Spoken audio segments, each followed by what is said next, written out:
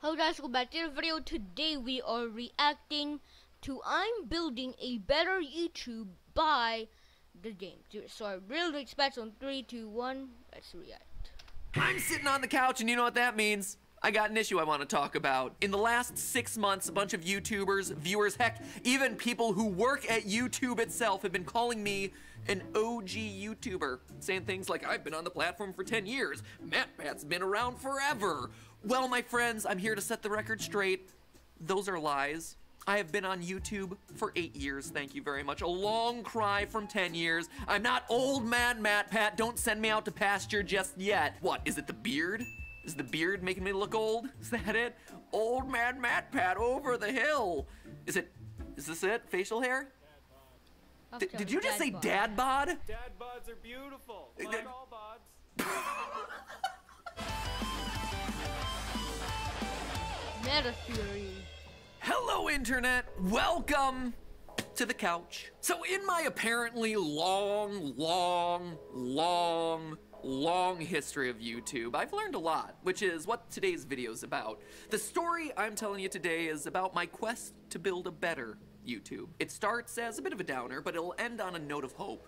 This isn't just me shouting into the void about the problems of the internet. It's about us here trying to make this place called YouTube a safer, more stable space for all its creators, large and small, brand safe or otherwise. In an ideal world, creators wouldn't need help all of the extra stuff that I'm about to talk about just wouldn't matter because it'd be easy to work on YouTube and be a business and not get taken advantage of by sleazy people. But the reality is that if you've worked on this platform for any period of time, you know that there are hundreds, if not thousands, of companies out there looking to screw you over just to make a quick buck. So a little over a year ago, I uploaded these two videos where I talked candidly about me and 49 other channel creators losing over $1.7 million of our earnings to a shady multi-channel network. My hair was pretty bad. That purple streak did not age well, old MatPat. Certainly did nothing to help my credibility in those videos, but the message was important, right? Shady companies are out there looking to exploit creators, and we all have to be more careful. In the years since uploading those videos, Steph and I and a legal team have learned more than I ever thought I would, and more than I care to know about shell corporations, corrupt businessmen, money laundering, and all those other crimes that people tend to commit in Batman movies. Now, if it looks like I've aged a bit in that amount of time, well, that's yeah. probably because of the beard. We already covered that, but right. also because in part it's probably true. There's nothing fun about people getting screwed over and having to come face to face with how crappy mankind can be to itself. Cause here's the tea spill, my friends. Ever since YouTube started making money for its creators, there have been a slew of slimy people looking to use us and lose us. Squeeze us for all we're worth, burn us, burn you as the fan base, and then just move on to do the same thing on the next channel. Profit again, but leave us empty and ragged in their wake. And you can see why, right? Most of us were kids when we got big on the platform. Some of us still are. And some of us are so young that they can't make money anymore, but that's because of COPPA. The long and short of it is that you have these sharks in the water, right? And they smell blood. They smell people who are successful and just want to create content and don't know the first thing about business, who don't want to be business owners. And so they swim on in, talk about how they can help, talk about how experienced they are, but they lie.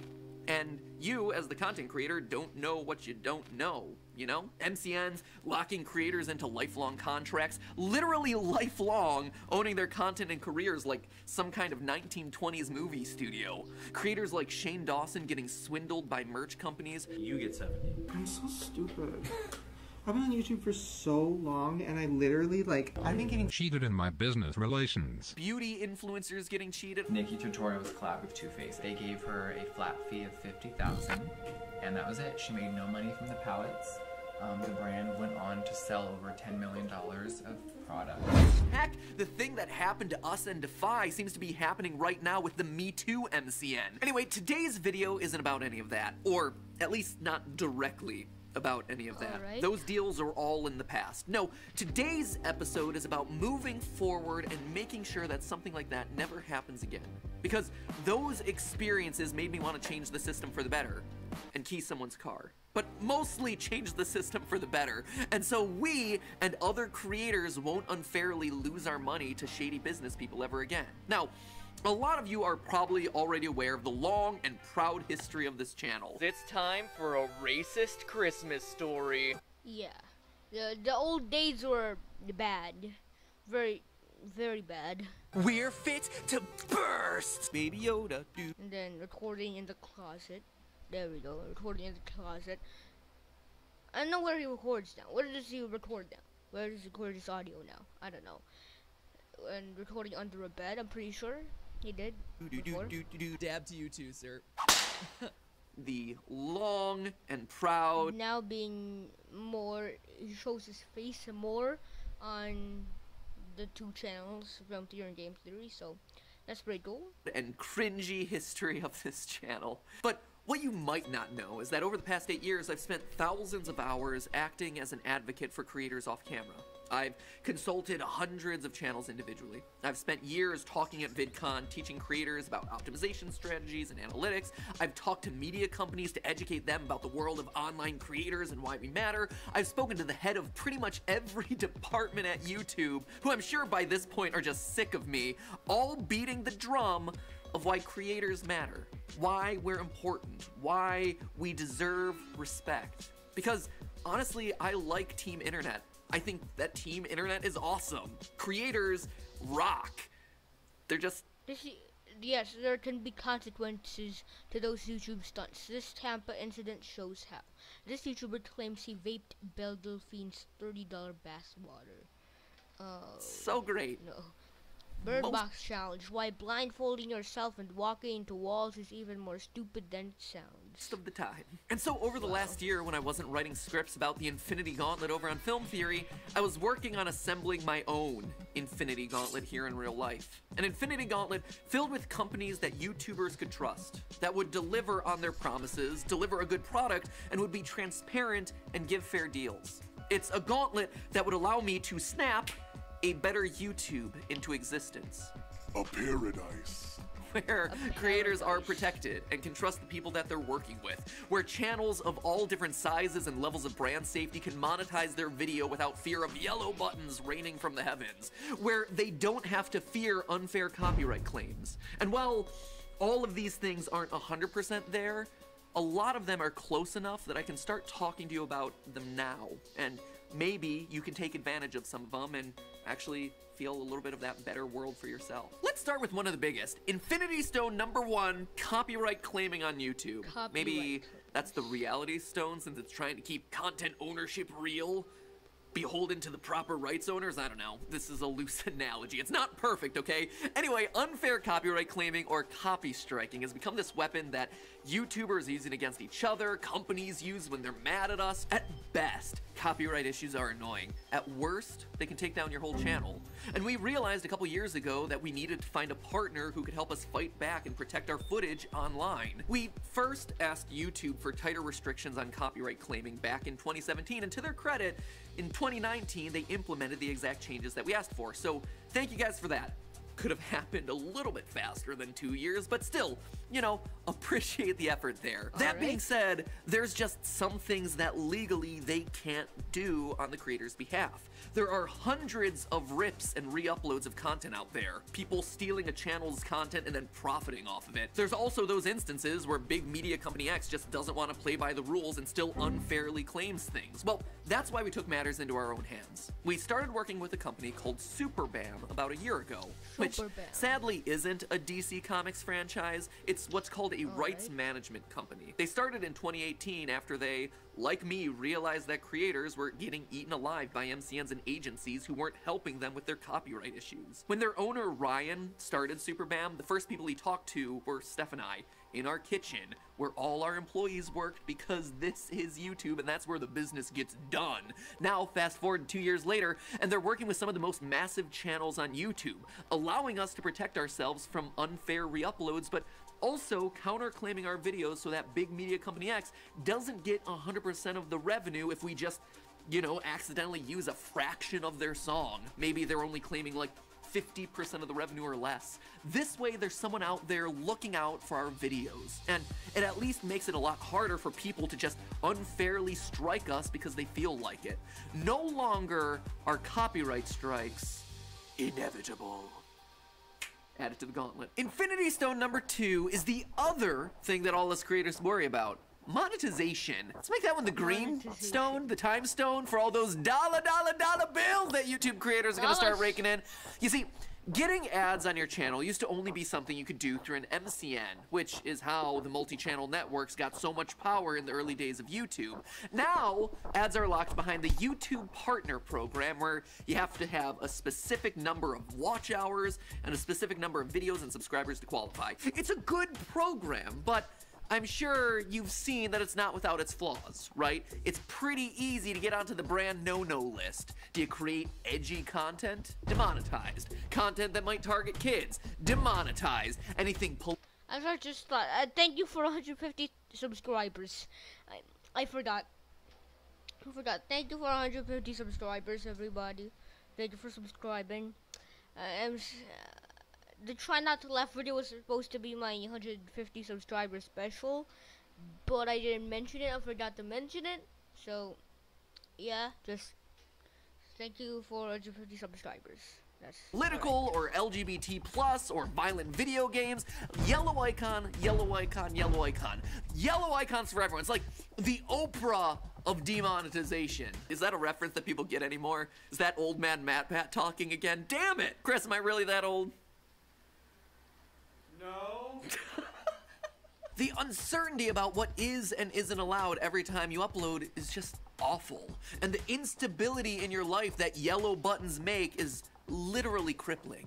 I mean, that is your paycheck every month. And to many creators out there, not knowing what that's gonna be, and more importantly, why that paycheck is slowly being eaten away, I mean, that's perhaps the single biggest contributor to creator depression and burnout here in 2020. And all of this is without even mentioning how adhering to vague brand safety standards has watered down content and ruined a lot of the authenticity that this platform was originally built on.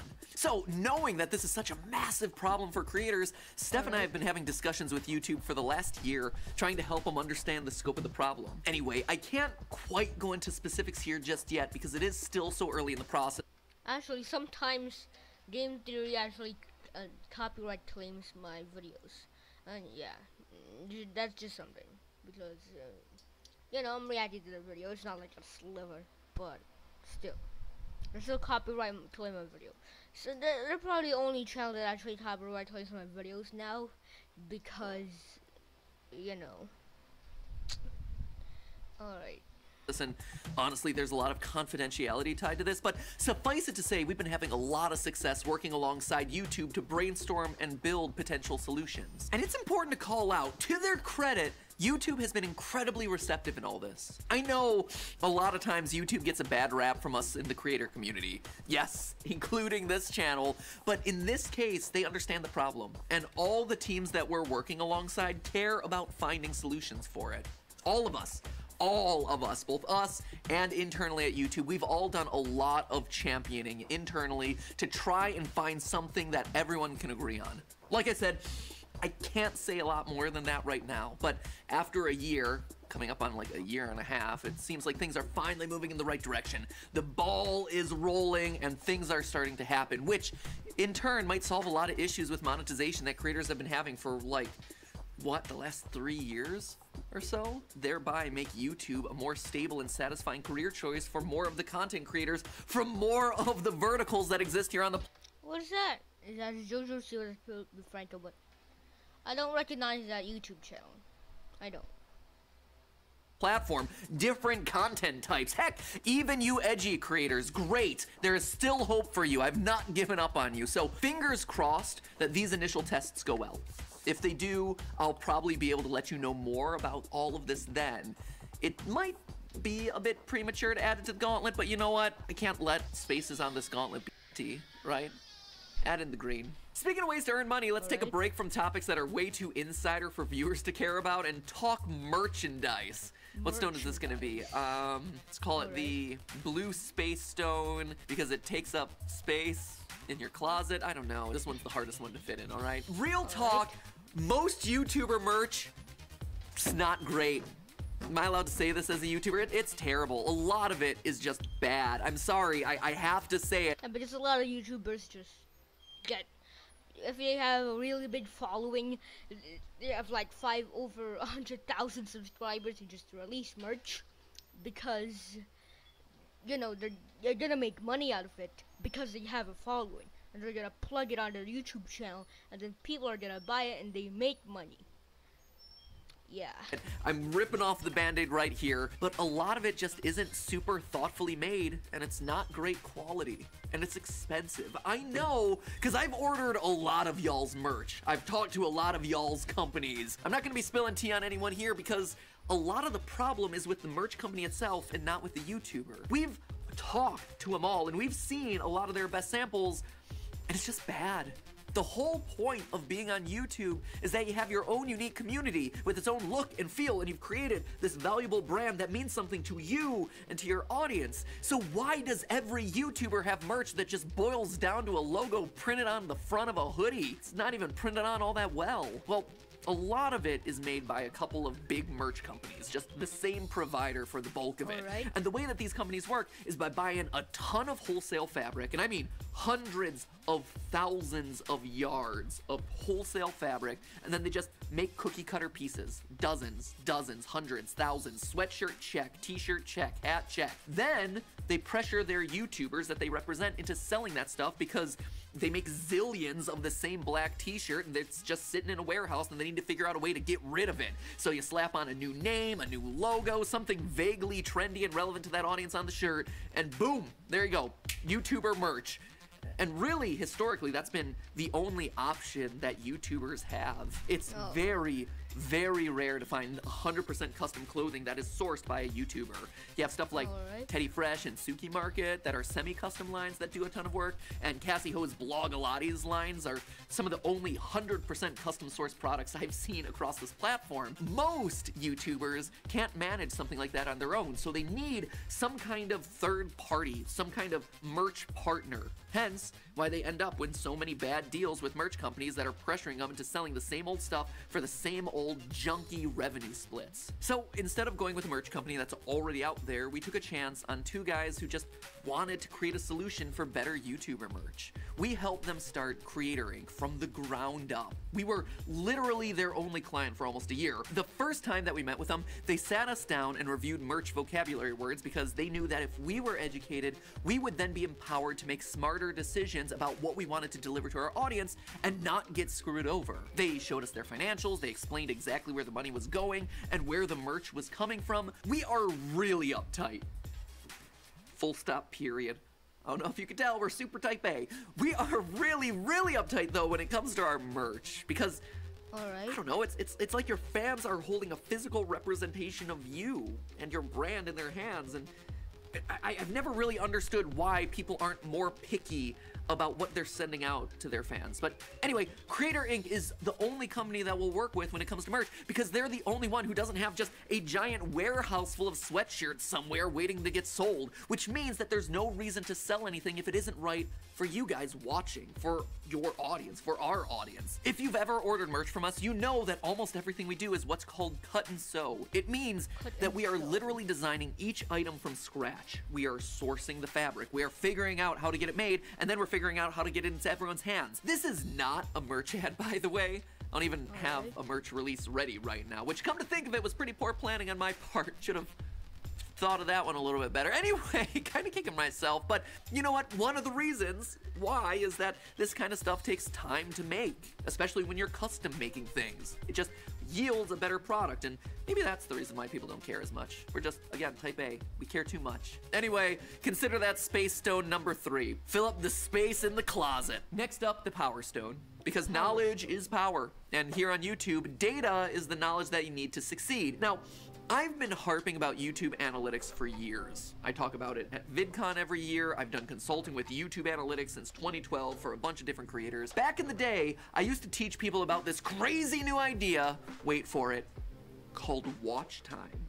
And no one Watch believed me back then. And we see how important that metric is now. Now, in their defense, at the time, I looked like a 12 year old who was dressed like a 40 year old stockbroker, so that might have hurt my credibility a little bit. Point is, there were supposed to be all these businesses out there that were helping creators understand their analytics and optimizing their channels, but they never did. So, I created my own systems where I calculated ratios like subscribers per thousand views and 30 day averages, engagement ratios, all of this stuff, all of which are standard data points that the agencies use now. Nowadays, YouTube Analytics is a lot better than it used to be, but it still only lets you look at your own channel data, which okay, makes a ton of sense. You don't want to share the data from a bunch of other people. But what if I wanted to find a new channel to collab with that had roughly the same size as my channel? Or what if I wanted to know which creators are on the rise, what kind of content they're making, what keywords they're using in their titles? What if I want to know the hottest topics to cover so I can either ride those trends or